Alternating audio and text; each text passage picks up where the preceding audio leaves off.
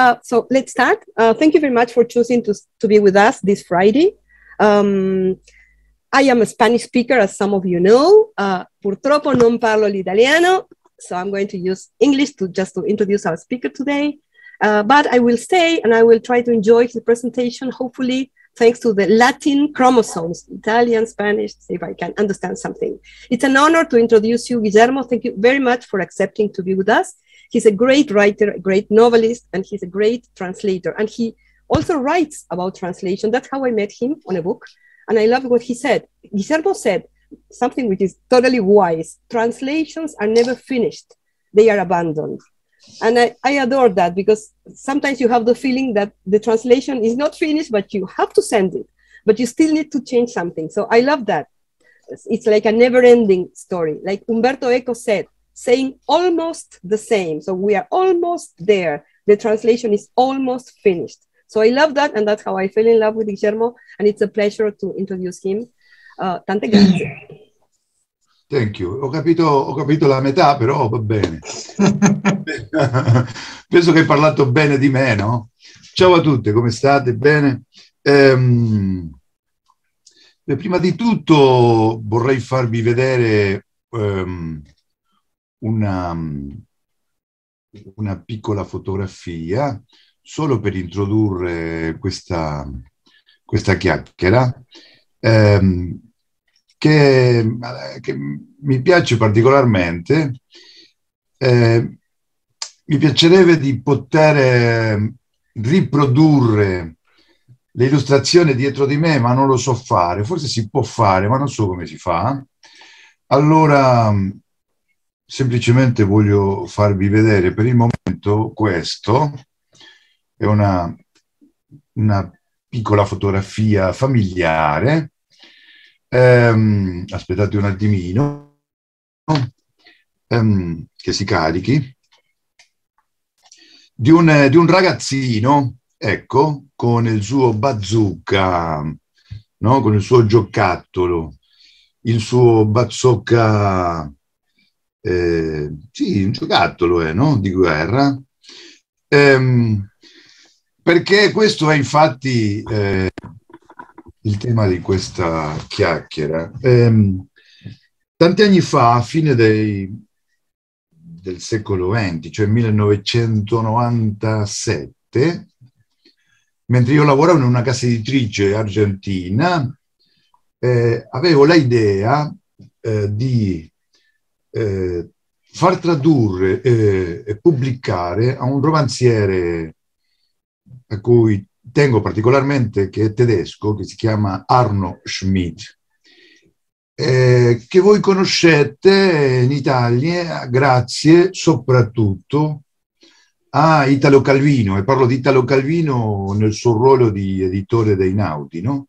cioè il primo libro tradotto da Arno Schmidt in italiano c'è stato Alessandro della Verità e l'ho fatto pubblicare di fatto.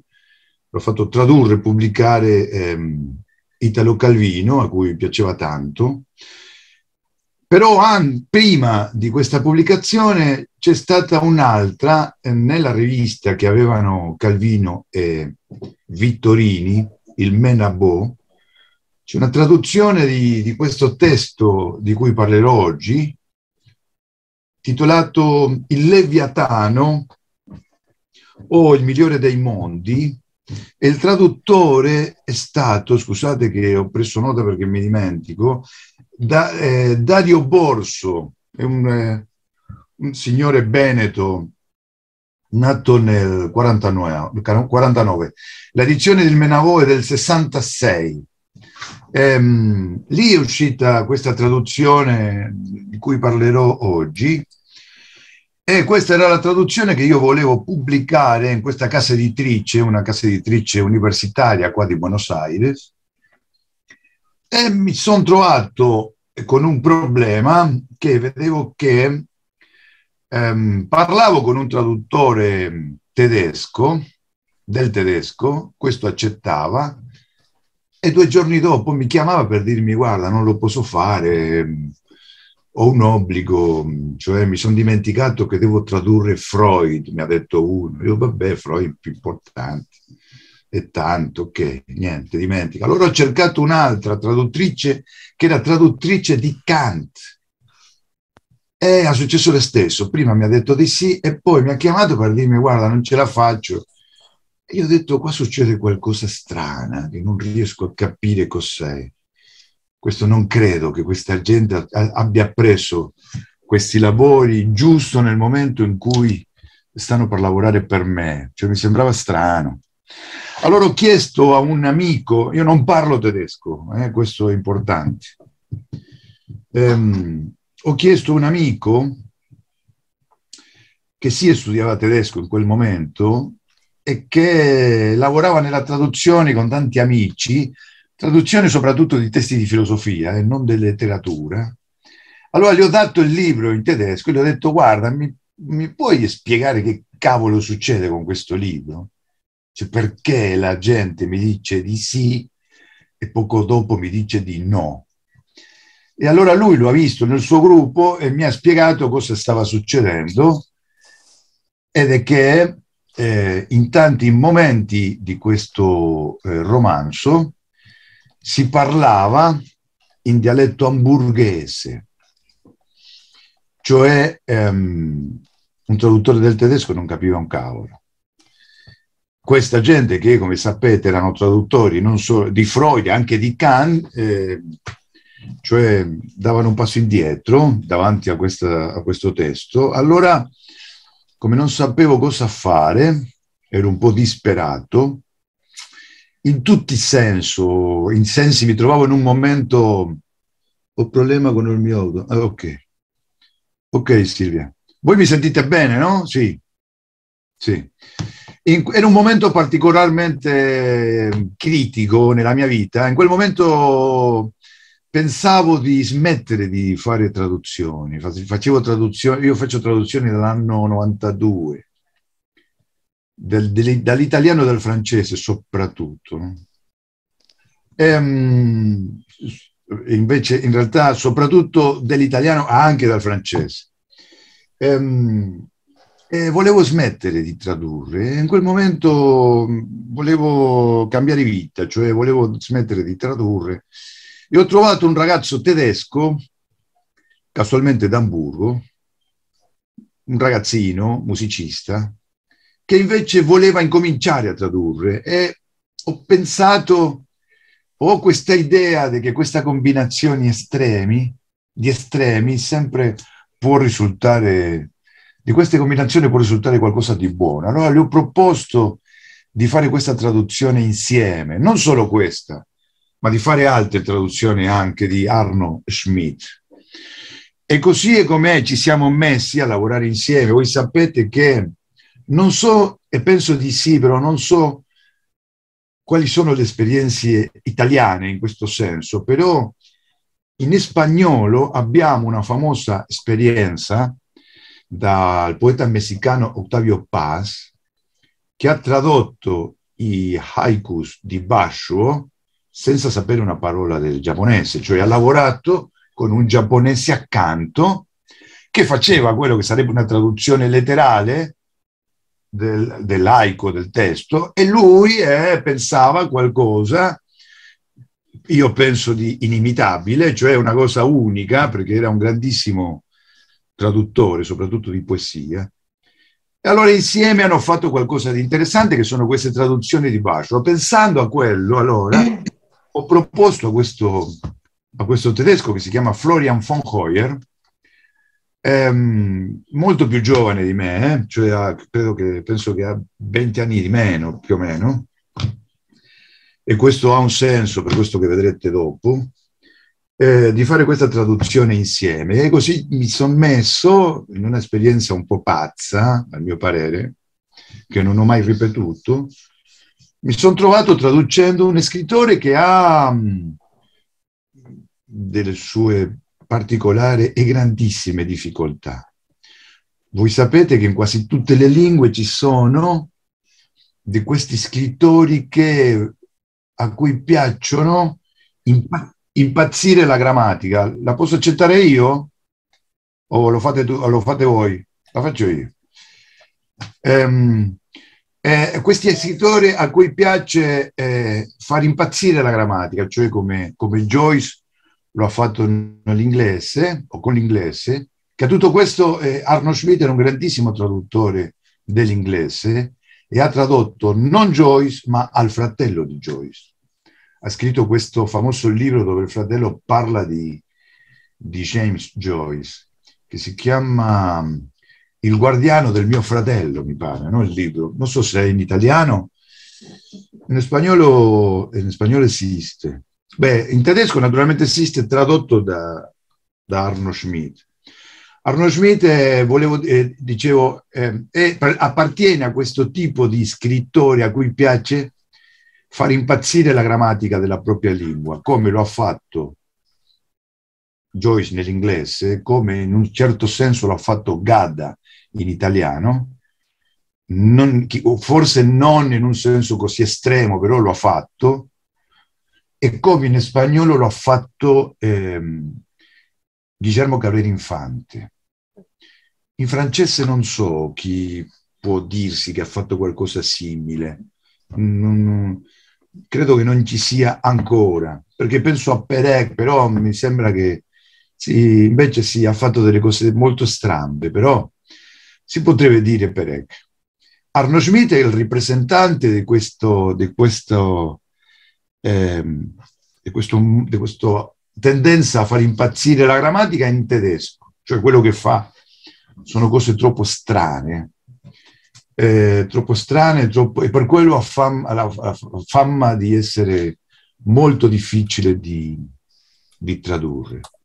E anche così ci siamo messi a lavorare sono, ci sono stati due anni di lavoro molto interessanti, dove abbiamo lavorato in un modo assolutamente artigianale, cioè io non ho mai tradotto così, con una meriticosità e soprattutto con una lentezza proprio così unica, cioè traducevamo 5-6 linee ogni volta che ci vedevamo. Era, era molto difficile di fare ehm, ho capito, ho imparato tante cose, al punto che, al punto che eh, questa esperienza ha fatto che io dimenticassi quelle voglie che avevo di non tradurre più. Cioè mi ha fatto capire che è una cosa che mi piaceva fare molto. Eh, ciao Mariano. Ehm, arrivato un momento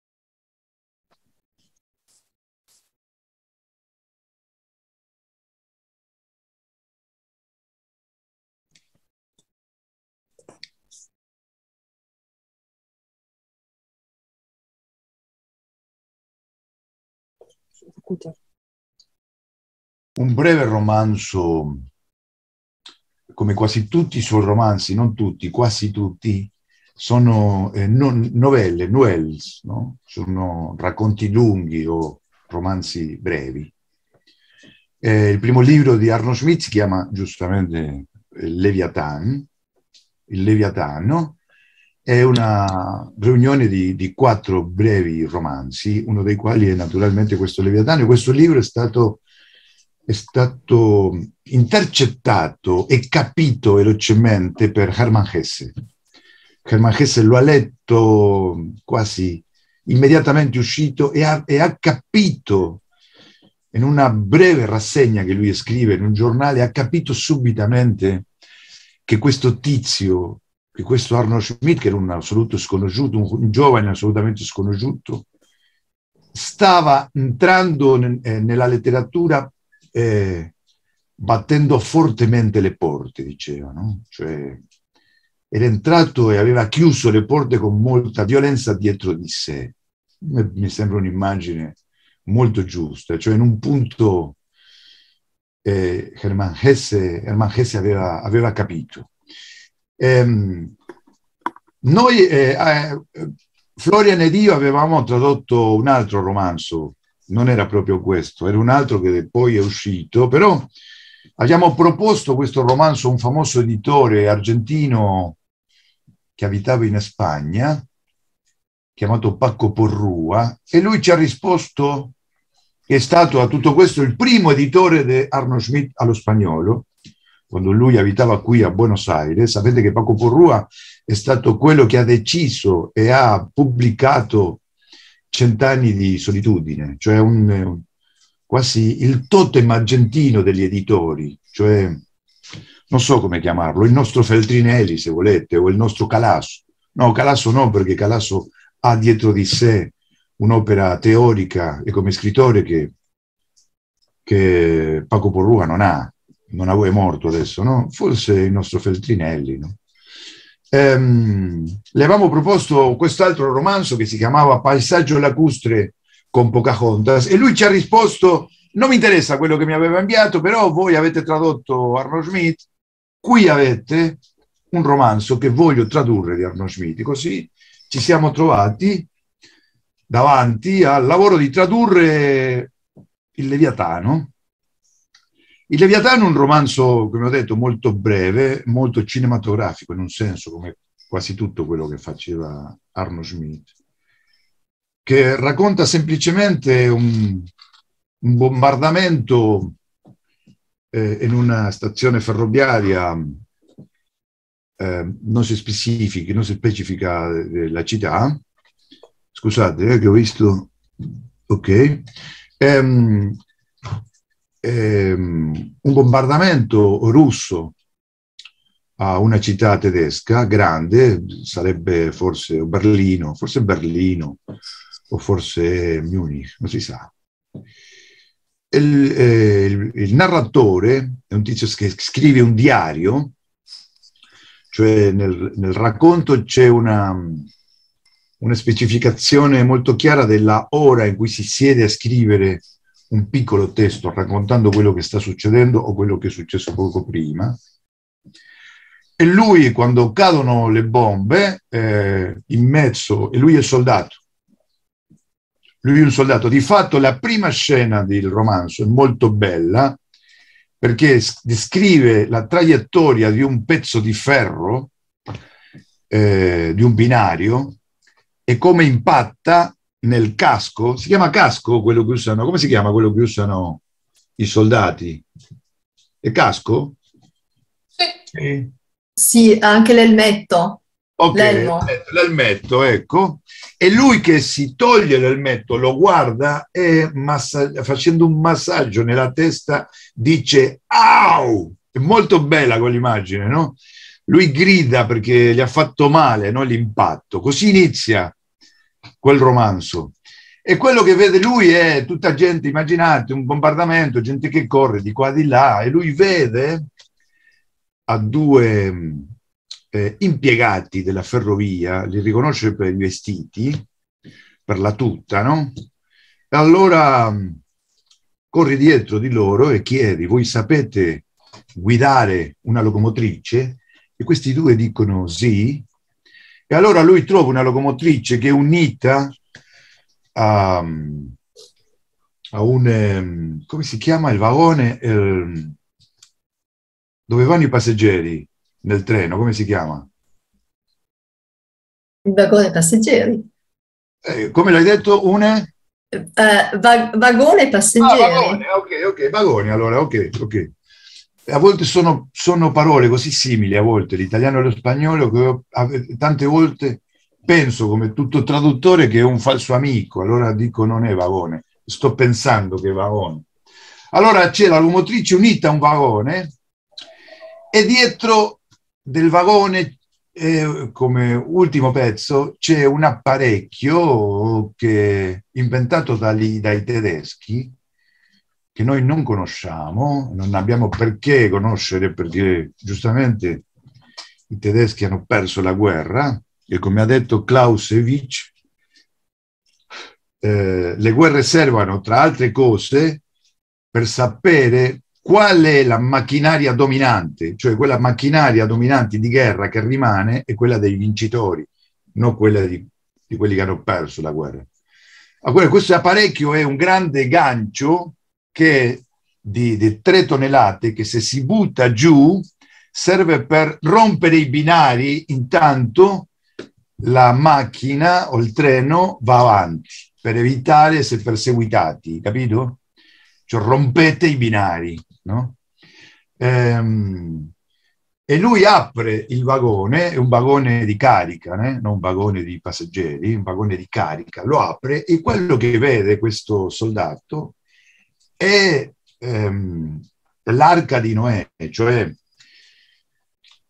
c'è la rappresentanza dentro della specie umana, cioè c'è una prostituta con la sua mamma, oh, ci sono tre soldati feriti, un pastore protestante e la sua moglie e sette figli, e poi eh, beh, c'è così, ah, c'è un, ehm, un eh, quelli che distribuivano la posta, come si chiamavano? Eh,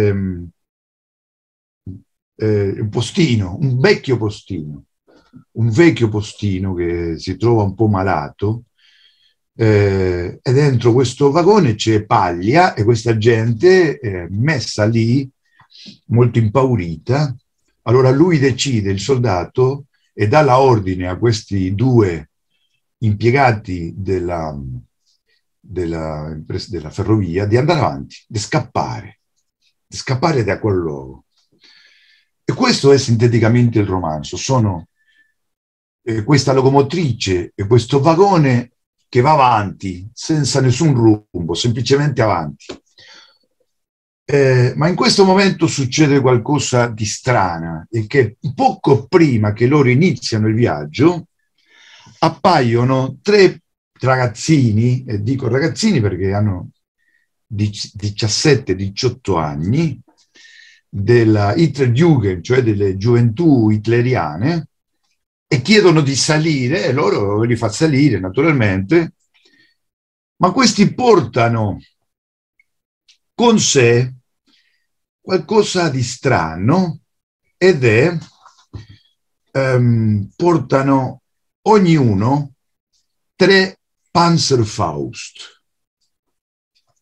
A, a partire da adesso non dimenticate che questo sta succedendo nell'anno 99, cioè nel momento in cui i traduttori eh, lavoravamo con questi dizionario di immagini, lo ricordate? per questa necessità che abbiamo di vedere quello stiamo, con cui stiamo lavorando, che stiamo descrivendo. No? Per certe cose non ci basta sapere come si chiamano, cioè come si traduce il nome, abbiamo bisogno di vedere, no? Eh, per quello è tanto utile per noi eh, il Google Image, no? Ma in quel momento non esisteva. E allora ci troviamo con il problema di sapere cosa era questo Panzerfaust, questo pugno che colpisce il, ehm, come si dice, tank, mi sono dimenticato in questo momento, il tank in italiano. Ehm, eh, beh, cercherò la parola perché è molto importante, me lo sono dimenticato. Adesso dico, ehm, è un'arma, cioè sapevamo le caratteristiche generali, quello sì. Capivamo che era, una, era un'arma, una, una macchinaria che serviva per ehm, un carro armato.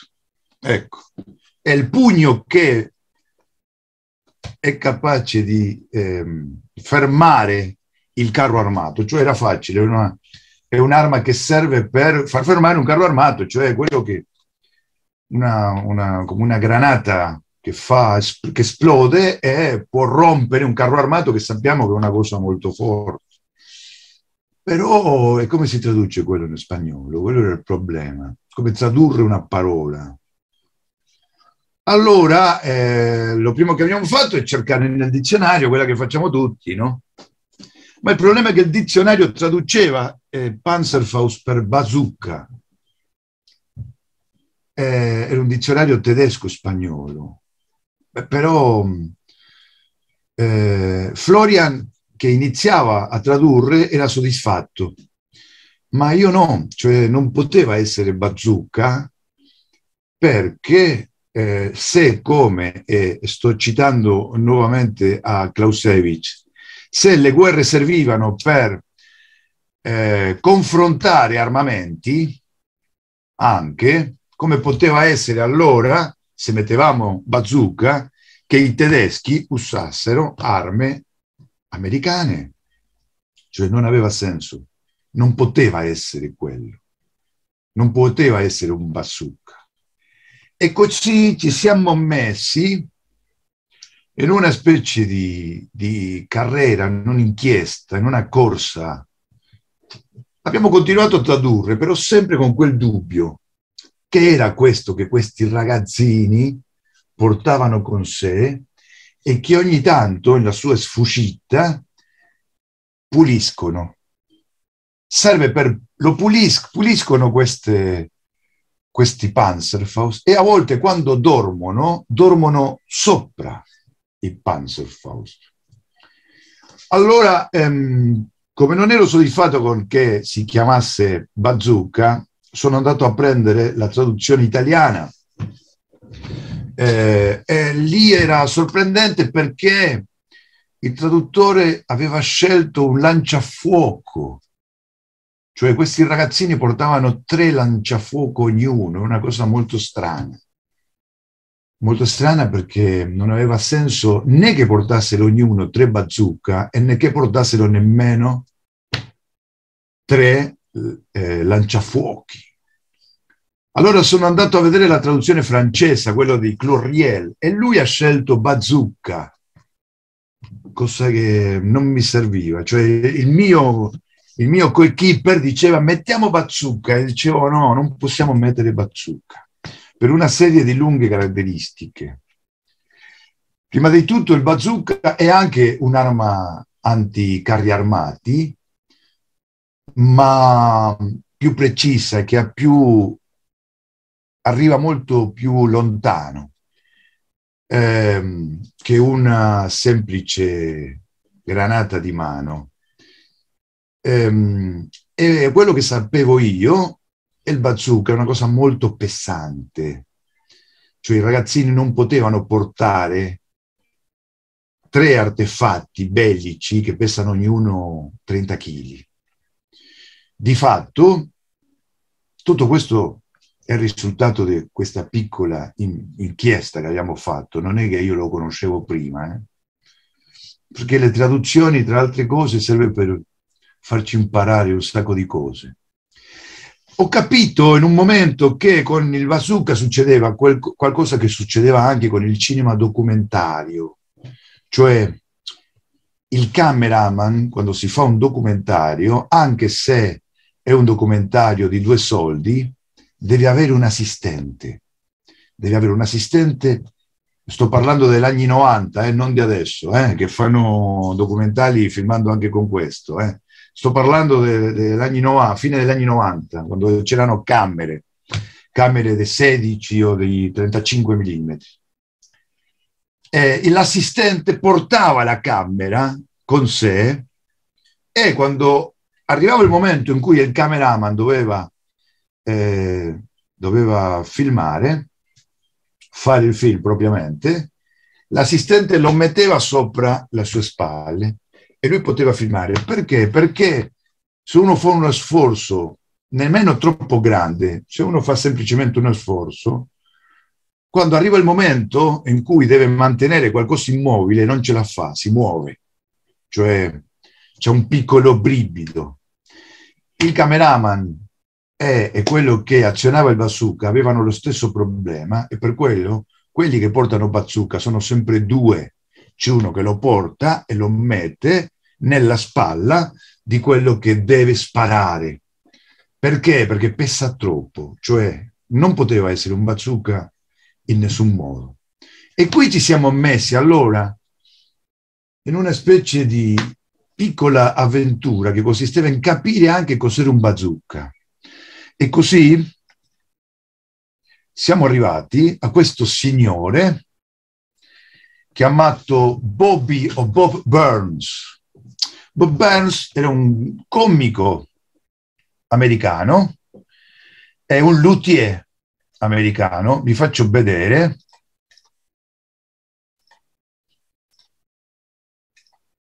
Questo è Bobby Burns. È un luthier americano, eh, comico anche, che ha fatto un piccolo eh, strumento ispirato è, eh, in un strumento de, dei Paesi Bassi che si chiama Bazoo. Lui era anche solamente, eh, in un momento era un comico eh, radiale, no?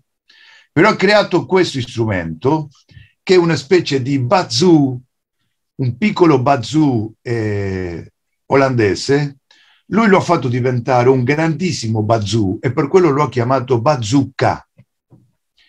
In realtà quello che noi conosciamo, l'armamento che noi conosciamo come bazooka, in realtà un, in inglese si chiama un, un lanciarazzi, capito? Cioè non ha quel nome in realtà.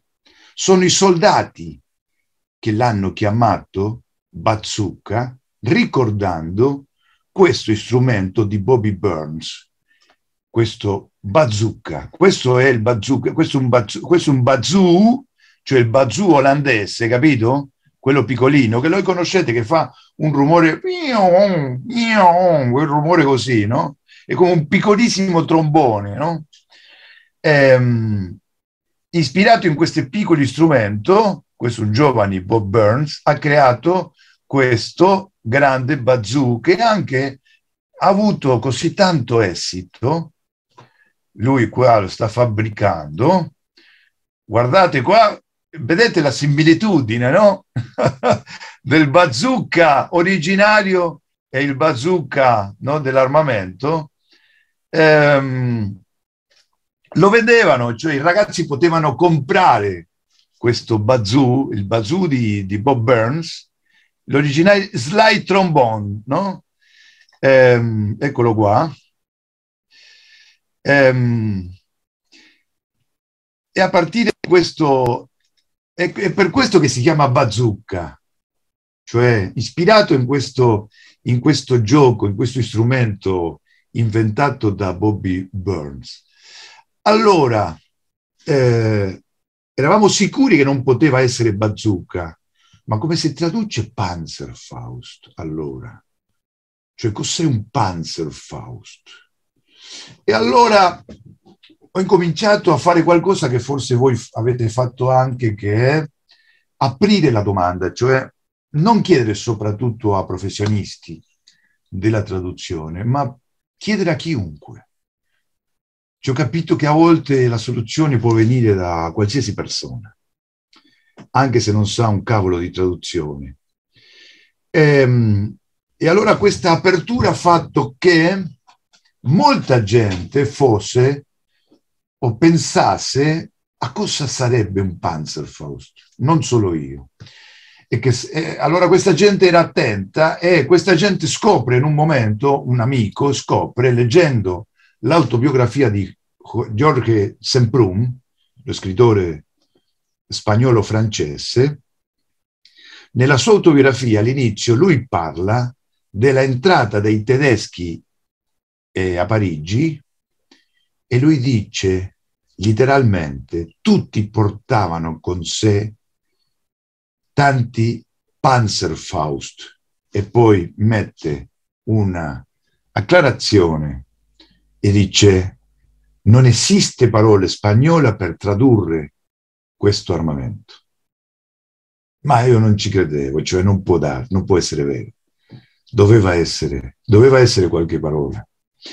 E questo ha fatto che un altro mi ricomendasse di leggere un altro romanziere, ma questa volta danese, eh, che si chiama Sven Hassel, Sven Hassel, che è stata anche una sorpresa perché mi è piaciuto tanto. Lo conoscete? A Sven Hassel, l'avete letto? Tu Mariano lo hai letto o no? A Sven Hassel. È molto interessante perché nella seconda guerra mondiale ehm, ci sono come sei o sette libri, ma composti da quattro o cinque nouvelles, sempre protagonizzate dallo, ste- dallo stesso equipe, che è un'equipe di ehm, indessiabili nella guerra, cioè sono tedeschi, non nazisti, ma soldati tedeschi, che odiano agli SS è che pro- i propri SS li vogliono uccidere perché sono un po' anarchici questi tizi, cioè non accettano le regole, ma sono bravi soldati. Allora li mandano sempre nella prima linea per farsi uccidere, ma loro vivono sempre. Allora questi, questi romanzi raccontano diversi successi durante la guerra di questa gente, no? È molto, molto divertente. E questo amico mi raccomandava leggere a questo Sven Hassel perché nel romanzo, nei suoi romanzi, appariva una cosa, un'arma, un armamento chiamato, in italiano sarebbe lanciagranate, cioè in, in spagnolo era lanzagranadas. Era qualcosa che mi piaceva molto, però avevo bisogno di vedere, non avere uno in mano naturalmente, ma avevo bisogno di vedere. Ricordate che siamo nel 99 e nel 99 non aveva successo ancora qualcosa molto importante e quello molto importante che è successo è stato semplicemente questo che vi faccio vedere adesso. Quello importante che è successo nel 2000 è stato questo. Jennifer Lopez è andata a un premio Grammy vestita da Donatella Versace così. E anche se non lo sappiate, questo ha provocato una piccolissima rivoluzione, una piccoli, piccolissima rivoluzione nella web, perché, nella rete, perché? Stiamo parlando di un tempo in cui non esisteva ancora Google Image e questa ragazza, vestita così, ha fatto nascere Google Image. Cioè un giorno la gente di Google si è svegliata e ha visto i suoi registri e ha, si è chiesto che cavolo sta succedendo. Cioè perché tutto il mondo sta cercando Jennifer Lopez, Grammy, vestito, cioè che sta succedendo? Era tutto il mondo, ma letteralmente tutto il mondo cercando questa immagine. E loro in quel momento, allora, hanno capito che la gente non voleva la notizia, voleva l'immagine. E allora si sono messi in quel, quel giorno a lavorare per far creare quello che noi conosciamo oggi e che così utile è, che è il Google Image. Due mesi dopo nasceva Google Image. Dopo due mesi di lavoro hanno fatto nascere Google Image che funziona, poi si è perfezionato, ma funziona ancora. Allora, avevo il sospetto che quello che io stavo cercando era qualcosa che si chiamava lanzagranadas, lanciagranate. Sono granate, si dice in, in italiano? Quello che si butta così per far esplodere? Sì, sì, giusto, la granata. Granata, ok. Era un lanciagranate. Non so come si chiamerà questo. Penso che in Italia, per quello che sono riuscito a capire, eh, si chiama ancora Panzerfaust, non hanno una traduzione e per questa ragione che questo traduttore italiano, questo signore chiamato Dario, Dario Borso, Dario Borso eh, ha confuso, non so se si è confuso, non so perché, ha fatto che questi ragazzi, invece di portare Panzerfaust, portassero con sé eh, un lanciafuoco, cosa che non ha senso, soprattutto perché c'è un momento nel romanzo, in questo treno succedono un sacco di cose, tutte narrate da questo narratore ideale che è il proprio Arno Schmidt, che ha tutto questo, lui era stato anche soldato. Lui, le cose con, con i ragazzi della della Hitlerjugend non vanno bene dall'inizio in, nel romanzo. I ragazzini sono un po' violenti e ce l'hanno soprattutto col postino, perché il postino parla male di Hitler. Eh, è lui che utilizza la parola leviatano. Il, il postino sta morendo, è molto malato, eh, c'è un freddo pazzesco ehm, in un momento i tre ragazzini minacciano a il postino. Allora il soldato, il narratore, stufo, apre la porta del vagone, che in quel momento è fermo in una stazione abbandonata, e arma in mano, rivoltella in mano, dice ai tre ragazzi, vattene via, mi siete stufati tutti e tre, vattene via di qua. Allora i ragazzi, eh, questi ragazzini prendono le sue cose, anche prendono i suoi Panzerfaust, e scendono dal, dal vagone, ma prima di andarsene via, quello che succede nel romanzo è che loro sparano questo Panzerfaust contro la parete del, ehm, della stazione e fa che le pietre vengano verso il vagone, cioè il narratore deve chiudere subitamente la porta e le pietre eh, schiacci, schiacciano e fanno rumore contro il metallo della porta, capito? E nel romanzo in italiano succede lo stesso, ma con un lanzafiamme, cioè non ho capito mai, con un lanciafuoco, cioè non so come lo fa. È un lanciafiamme o lanciafuoco? Come si dice in italiano? Che mi sono dimenticato. Si dice lanciafiamme. Lanciafiamme, ecco. Lanciafiamme, grazie. Eh, cioè loro attivano il lanciafiamme e fanno esplodere una parete, cioè non ha, non ha senso, ma non so, è rimasto così. Cioè era necessario capire cosa era questo strumento, era assolutamente necessario, scusatemi, lanciagranate, eh ma sì, adesso sì lo possiamo vedere, ma non farmi spoiler, No, ma l'ho messo, l'ho messo per, perché, ah scusa, no, l'ho messo perché pensavo che ti poteva servire ah, come, come, come, termine. Scusami. Grazie, non fa niente. Ehm, eh, c'era questa necessità assoluta, eh, avevamo già finito il romanzo e non sapevamo ancora cosa dovevamo mettere invece di Panzerfaust. C'erano ancora discussioni. Il, il, mio partner, cioè Florian, diceva ancora che dovevamo mettere Bazooka, ma io continuavo a negarmi. Allora è successo un piccolo miracolo che è stato io prima di, prima di viaggiare in Italia, di vivere là, prima di essere traduttore, avevo lavorato tanti anni come libraio.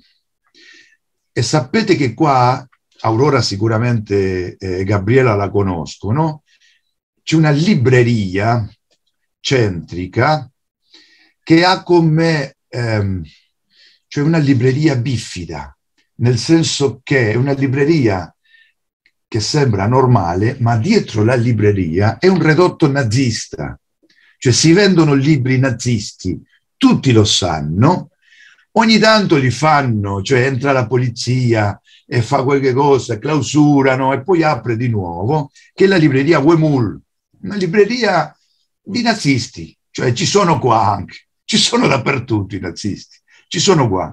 Ma questi ehm, hanno come una specie di libreria specchio, c'è una libreria normale davanti e dietro c'è una libreria nazista che io non ho mai vista. Eh? Tutti sappiamo che esiste, ma non è che può entrare qualsiasi, eh? no, non entra qualsiasi.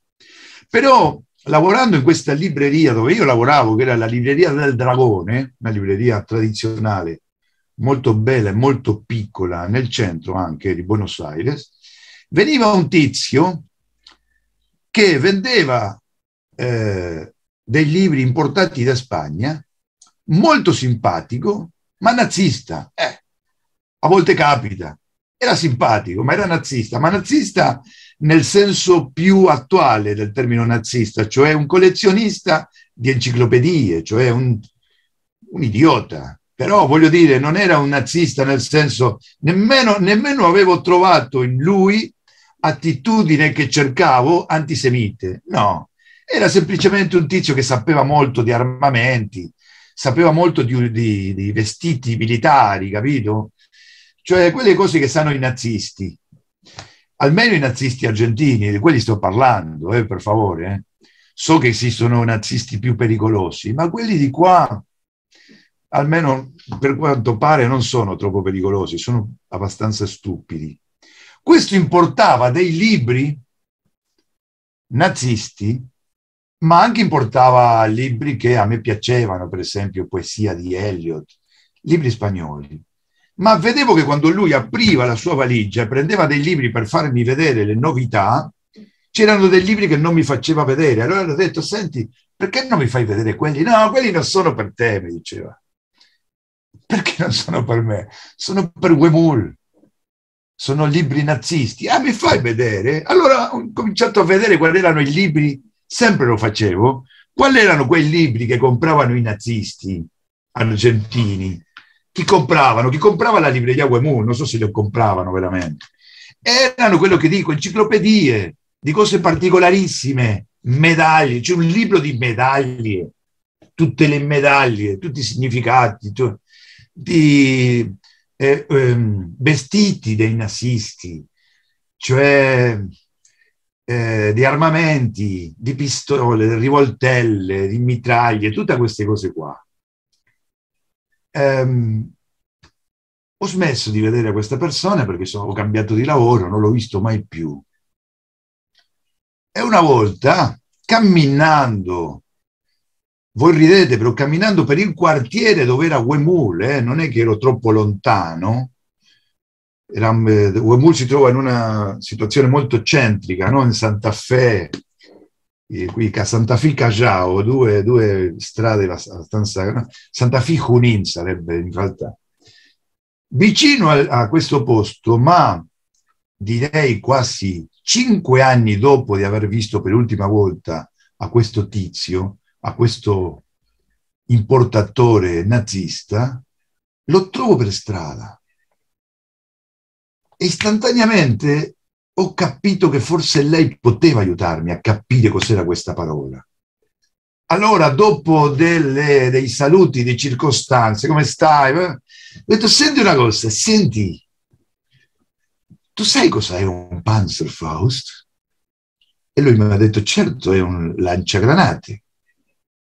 E lo so, ma che cavolo è un lanciagranate? E lui mi ha detto, tu non hai fatto la milizia, no? E ho detto, vero, non l'ho fatta la milizia perché ho un problema nella visione. Ha detto, ci sono ancora unicamente due eserciti nel mondo che utilizzano ancora il lanciagranata. Uno è un esercito africano, eh, l'esercito di Kenya, e l'altro è l'esercito argentino. E vabbè, eh, non l'ho fatto io. E allora ho chiesto, ehm, mi puoi far vedere uno? Eh sì, andiamo a casa. Ho un'enciclopedia dove ti posso far vedere un Panzerfaust. Ma nel cammino mi ha dato una spiegazione pratica di perché i tedeschi avevano bisogno di un Panzerfaust e gli americani no. Cioè lui mi ha detto, i tedeschi avevano bisogno di qualche cosa per fare quello che un ragazzino, e per quello che ho fatto vedere all'inizio questo ragazzino, qualsiasi ragazzino americano sa buttare lontano, lanciare lontano una granata perché giocano baseball. I tedeschi non giocano baseball, non sanno cos'è il baseball. Allora non riescono nemmeno a a un punto anche grande, lanciando con la mano qualcosa. Non lo sanno fare. Eh, questa è la ragione in cui hanno dovuto inventare qualcosa per lanciare una granata con certa precisione, cosa che gli americani non ne hanno bisogno. E quando siamo arrivati a casa sua c'era veramente una casa piena di libri, ma piena come io, però tutta piena di libri nazisti, no? Questo vuol dire enciclopedie soprattutto, eh? non bibliografia. Insisto, almeno i nazisti argentini sono grandi consumatori di enciclopedie a colori, eh? per quello sono inoffensivi.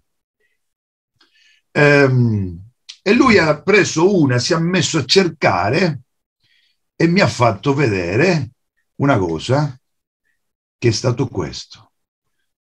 All'inizio era un po' confuso, ma poi vi farò vedere altre illustrazioni. Ma non è che vi sto facendo vedere un'illustrazione simile a quella che lui mi ha fatto vedere, no. Questa è l'illustrazione che lui mi ha fatto vedere. Questo ho visto io e grazie a questo ho capito di cosa stavamo parlando, perché questa gente poteva portare tre di queste, no? pendendo dalla spalla destra, capito? Cioè era semplicemente, e adesso vi faccio vedere, questa è l'immagine che lui mi ha fatto vedere, la stessa, capito? Perché gli ho, gli ho chiesto, mi puoi fare quella fotografia e inviarla? E queste sono altre che ho trovato io tanti anni dopo, tanti anni dopo Jennifer Lopez, voglio dire, cioè Google Image, cioè una quantità di Panzerfaust.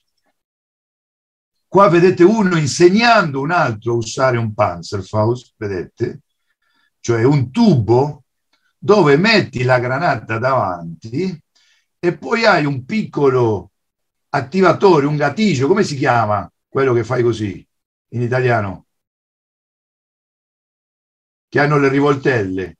Sì, un grilletto. Grilletto, ecco, grazie, me l'ho dimenticato. Un grilletto e una mira, cioè che ti permette calcolare 20 metri, 15 metri, perché non va più lontano, per poter accertare al punto dove tu vuoi inviarlo. Eccolo qua, vedete? Questo è un diagramma molto bello eh, dell'utilizzo del Panzerfaust, che hanno, cioè, può, può, cioè un, un coso di cuoio, come si chiama? Un, per, per, legare, per farlo pendere dal, dal, dalla spalla. E questo faceva che poi quello portavano tre, perché sono troppo leggeri, capito? Vedete questo? Lo sto usando, vede? E questo è bellissimo, una fotografia bellissima. Questo, questo, è uno dei ragazzini del romanzo, perché è un giovanissimo, un ragazzo molto giovane, della Hitler Jugend, con uno, con un Panzerfaust davanti. Cioè, la parola tecnica in spagnolo era appunto lanciagranate, era quello di cui avevamo bisogno. Allora, vittoriosi, abbiamo messo lancia granate in questo romanzo, in questa traduzione. L'abbiamo inviato a Spagna,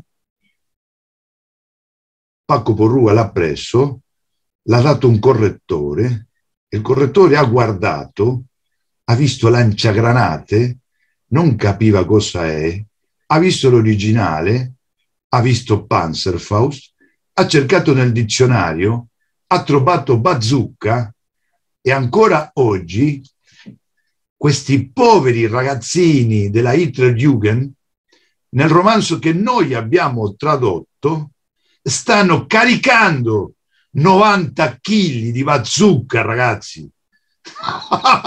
Voi ridete, ma io non vedo l'ora di fare di nuovo quella traduzione, di poter pubblicarla di nuovo per togliere quella parola hanno passato 22 anni, 22 anni che questi due poveri ragazzi nazisti hanno, stanno caricando 90 kg di metallo eh, per il mondo immaginario, andando in giro e non lo meritano nemmeno loro, ragazzi, non lo meritano. Volete fare qualche domanda? Quello è tutto, ragazzi. Questa è l'istoria che volevo raccontarvi.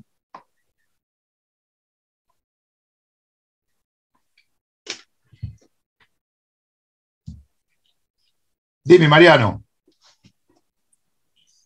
Grazie Guillermo, si senti? Sì. Ok, grazie della tua presentazione, è stata interessantissima. Infatti, questa è la seconda volta che io l'ascolto, l'ho ascoltato la prima volta non ricordo se sei, eh, dieci anni fa o otto anni fa, Forse, l'hai raccontata sì, sì. in spagnolo. Eh, la prima cosa che mi viene in mente dopo ascoltarti di nuovo è che quante storie non abbiamo grazie a Google Email, Images, eh, perché veramente se, se, se, se, voi avete avuto Google Images eh, eh, non, non, avremo questa storia, sì, non avremo questa storia. E la seconda cosa... Si avrebbe soluzionato subitamente guardando subitamente. semplicemente il link che ha mandato, ha inviato Marina. Eh, assolutamente, sì, Google Image è di un'utilità, a me mi sembra di un'utilità assoluta. Immensa. Immensa. Certo. E la seconda cosa che voglio, che voglio dire, non so se conosci ehm, l'app o il website conosciuto come no. eh, che sia uno, un, una, eh, un, traduttore automatico, diciamo. Sai mm. probabilmente che la traduzione automatica nel nostro campo eh, sta avanzando.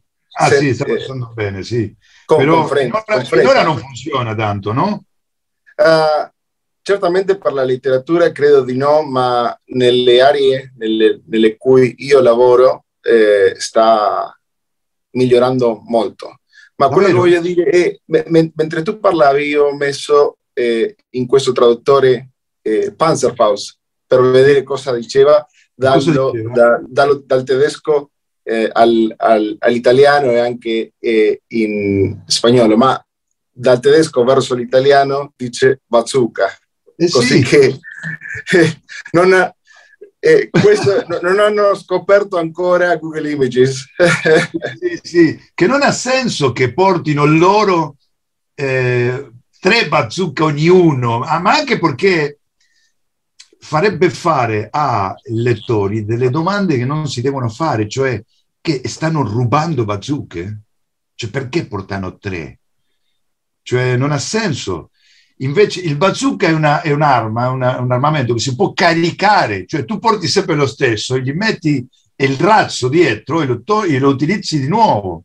Invece il Panzerfaust tu lo utilizzi e poi butti via quello che rimane, cioè non lo usi, Devi, hai bisogno di un altro, capito?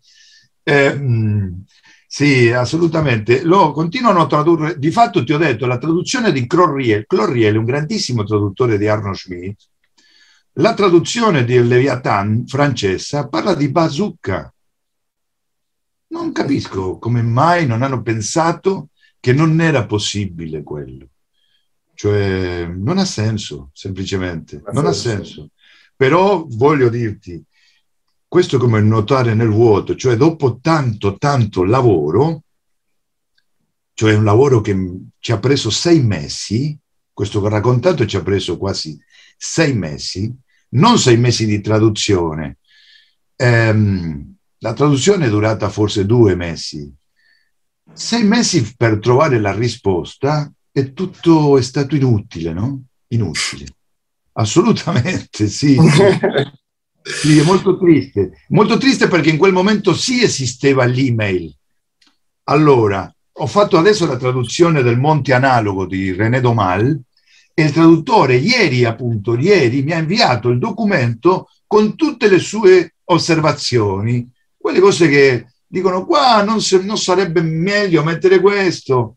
E quasi tutte le volte, cioè mi ha fatto dieci domande e solamente una gli ho detto no, sei sbagliato. Tutte le altre gli ho detto sì, hai ragione, sta bene, fallo, dai, hai ragione, come dici tu è, migli- è migliore. Um, in questo caso, che, che, è successo con il correttore? Loro hanno fatto il loro lavoro e non vi hanno dato a, a voi eh, intervenzione in, in, questo caso? Intervenzione, ma sai cosa succede? Quando, nella, nella, industria del libro, quando ti pagano per fare qualcosa, lo devi fare. Cioè, se mi certo. pagano per fare la correzione di un libro e quel libro non ha bisogno di nessuna correzione, devo tradurre, devo correggere qualcosa, se no non mi pagano. Non posso dire pagami non c'è nessuna correzione da fare. Non è così. Cioè tu devi fare qualcosa. In questo non funziona molto bene il sistema, capito? Non voglio sì. dire che in realtà funziona perché non c'è un solo caso in cui non sia bisogno nessuna correzione, quello non esiste, capito?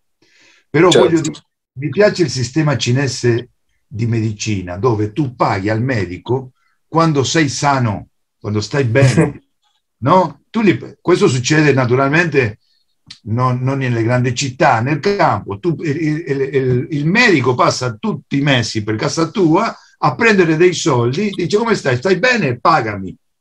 Allora, quando lui, quando lui è malato, devi pagare tu, il medico deve pagare. Cioè, questo fa che il medico si preoccupi per la tua salute, tu devi stare bene, se no lui perde soldi. Allora, questo sistema mi sembra perfetto. Invece nel sistema editoriale questo non funziona tanto così, cioè questo certo. ragazzo doveva fare delle correzioni, non dico che non, non, era, non c'erano bisogno di correzione, eh? non dico quello, non dico che quello che abbiamo io non ho fatto mai una cosa perfetta, mai, e non la farò, no, non dico quello, ma, ma parlami, dimmi, certo. dimmi, per esempio, l'editore ieri ha visto nella traduzione del Monte Analogo una parola che lui non conosceva e che io conosco perché, ehm, perché io faccio ehm, alpinismo, cioè gli alpinisti la conoscono, in realtà qui si fa andinismo, però è lo stesso, questo di arrampicarsi alle montagne, alle pareti, che è fare un bivac cioè a lui dice invece di vivac metto che hai fatto un campamento, ma no, non è lo stesso. Con un campamento, con un campeggio tu fai una tenda. Quando sei in montagna tu non puoi fare una tenda. Una tenda dove? A volte puoi, a volte no. A volte solo c'hai la borsa di dormire te devi mettere in un buco, quello fare un bivac. Cioè, a volte lo fai pendendo dalla montagna il bivac, capito? Perché sei stanco o c'è, o c'è un problema, c'è molto vento, cioè non puoi avanzare, non puoi salire, allora devi dor- tu approfitti per dormire, allora fai un bivac e rimani lì pendendo dalla montagna, quello non è... Allora gli ho detto no, no, è un bivac, non è un campeggio, capito? Non confondere. Niente, eh, questa comunicazione editore-traduttore mi sembra, mi sembra naturale e, e mi sembra che si deve mantenere perché quello se non fai casini come ha fatto questo, questo ragazzo di cui so il nome, eh, so chi è. Davvero, no, davvero, vive in Spagna, un giorno lo troverò. Eh, Hai parlato con lui? No? no? no, non ho mai parlato con lui, ma è conosciuto da un amico mio. Ehm, eh, in questo momento ho dimenticato il nome, ma in, ma in questo momento, eh, in generale lo ricordo. Eh, un amico mio le ha fatto un prologo a un libro suo perché lui è poeta anche, o è stato poeta, mi sembra che non ha scritto troppo, però lui lavorava per questa casa editrice spagnola che era Minotauro, la casa editrice di Paco Porrua, e un giorno lo troverò, lo troverò e, e gli farò sapere la cagata che ha fatto. Bene. Spero, assolutamente. Beh, io volevo dire ho apprezzato molto questa esposizione, molto, veramente molto interessante. E, e, e, volevo dire ecco, che capisco molto bene il problema delle, dell'essere correttore, perché io traduco e, so, e faccio anche mh, correzione, dipende, cioè dipende dalla, dalla situazione. E quando eh, io devo intervenire in un testo, eh, ho sempre molta paura mm, e a volte chiedo e faccio i commenti, cioè metto proprio i commenti eh, e dico io la interpreto così. Mm-hmm. Sei d'accordo?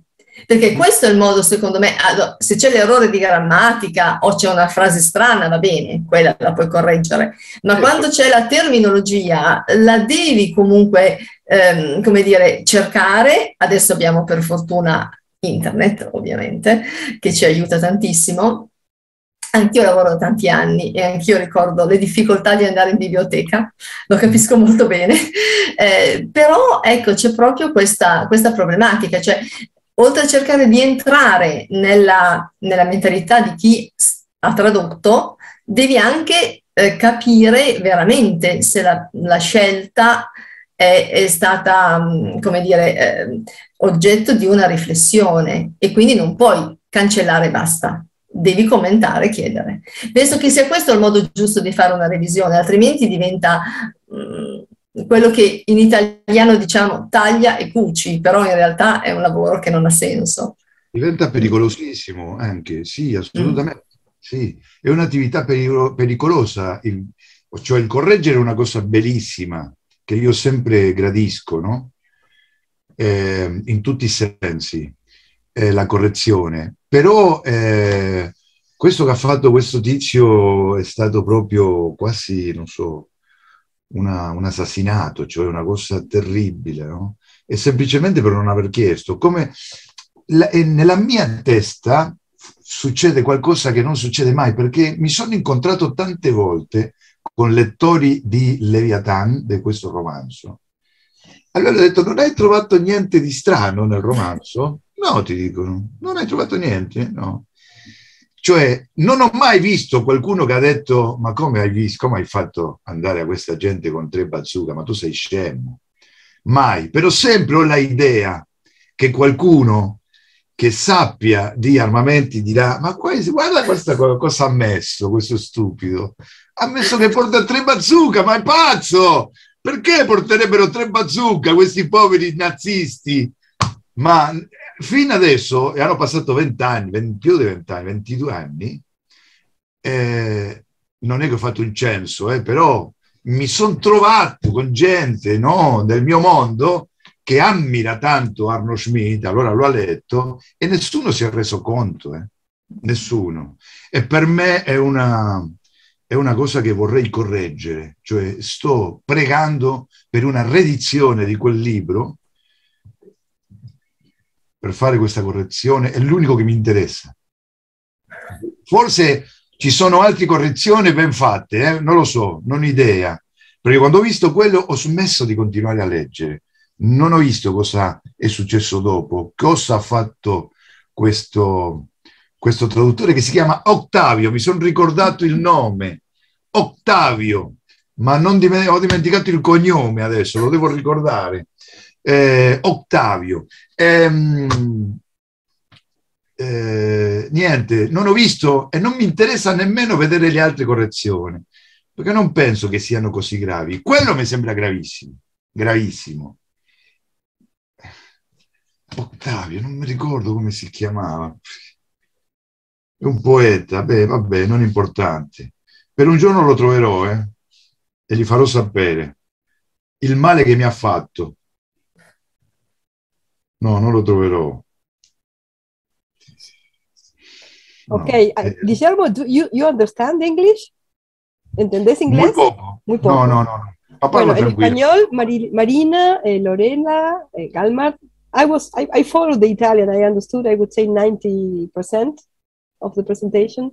Uh, Thank you very much. Tante gracias, mil gracias. Fue súper interesante. La obsesión de los traductores, yo creo que la llevas a la muerte, a la tumba, e, esa palabra, e, ese, ese dilema y esa traducción. Eh, l'ho ricordato, l'ho ricordato. Ottavio Di Leo. Ottavio Di Leo, il traidore, il traditore. Ottavio Di Leo, quello, Ottavio Di Leo, guarda, è anche italiano, no? Ottavio Di Leo. Ecco, l'ho ricordato, non l'ho trovato, l'ho ricordato. La vendetta. Eh sì, sì. No, ho già passato tanto tempo, non è niente, però lo, sì, glielo Pero recordado. Sí, sí, sí, sí, sí. Bueno, muchas sí. gracias, Guillermo, a los presentes. Gracias voi, ragazzi. Muchas, muchas gracias. Eh, purtroppo non parlo l'italiano, again. Eh, que, que tengan un lindo fin de semana. Muchas gracias. Tante grazie. Ciao a tutti. Grazie, ciao. Ciao. Ciao, grazie, grazie a tutti. Ciao.